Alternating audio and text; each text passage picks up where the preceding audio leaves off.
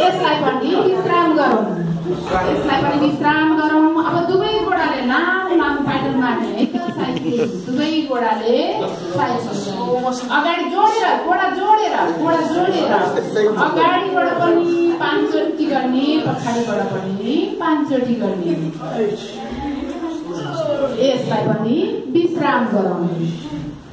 अब हामीले यसलाई गरेर सिधा गोडा बनाइदिउँ र हाम्रा कपडाहरू मिलाइदिउँ।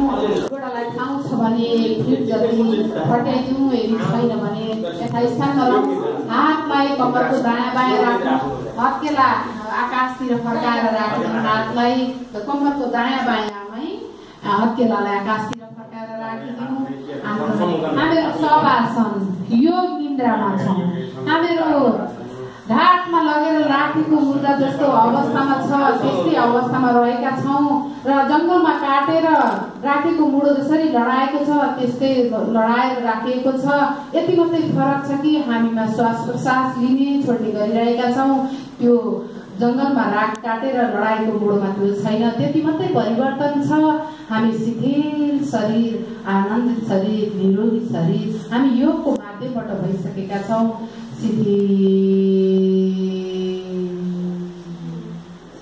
हामीले दिनभरि रातभरि सुतिरहेको भन्दा पनि यहाँ पाँच मिनट योगिक जोगिङ गरेर गरेकोमा धेरै लाभकारी पाएको हुन्छ।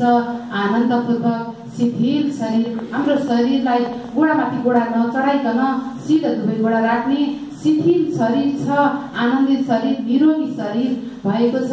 हामीलाई आनन्द महसुस गरिरहेका छौँ। हामीले हाम्रो शरीर शिथिल शरीर निरोगी शरीर स्वास्थ्य शरीर बनाइसकेका छौँ। हामी आनन्दका साथमा हाम्रो शरीरलाई हामी आफै निहाल्न सक्दछौँ।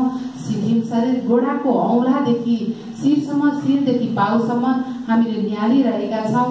निहाल्न सक्छौँ। कहाँनिर परिवर्तन आएको छ।